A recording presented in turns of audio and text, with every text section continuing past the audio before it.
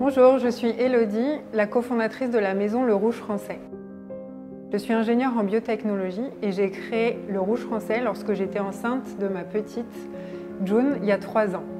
C'était important pour moi de regarder ce que je mangeais et j'ai commencé aussi à faire attention à ce que je me mettais sur la peau et notamment les formulations des cosmétiques. J'ai pas vraiment trouvé ce que je voulais sur le marché, donc j'ai décidé de créer mes formules et euh, le Rouge Français est né